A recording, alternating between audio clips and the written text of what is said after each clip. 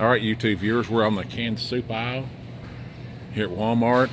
I thought I'd just look around a little bit. You know, Campbell's is the best. Let's let's see. This looks good for looks good for uh, your daughter if you have a kids. You know what gets me on these uh, soups? You want to notice the salt content in these things. Look at this. Look at salt content. 21%.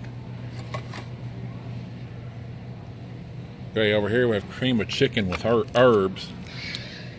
Yeah, again, let's look at the uh, sodium content. 33%. Why do, they, why do these things have so much salt in them? That's what I want to do. Oh. Double noodle. Whatever that means. You get guess you get extra noodle for uh, buck 38. Chunky chicken noodle. Okay. A little higher, but you can get chunky chicken noodle. Again, let's look at the salt content.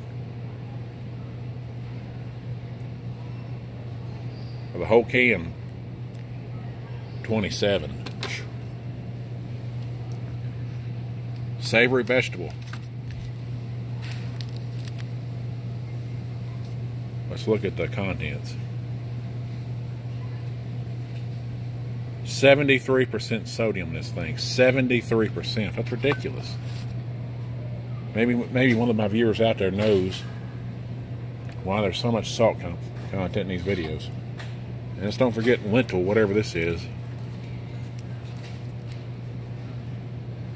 Carbohydrate, look at the salt. 70, let's see, it's 30%. Ugh. Ugh. If you're on a salt rest sodium restricted diet, soup's not is not the thing for you. Beef with vegetables and barley.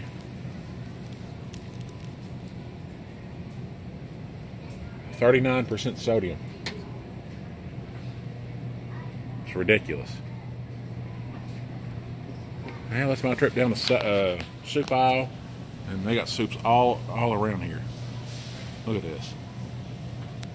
You should have no shortage of options in your local Walmart soup aisle.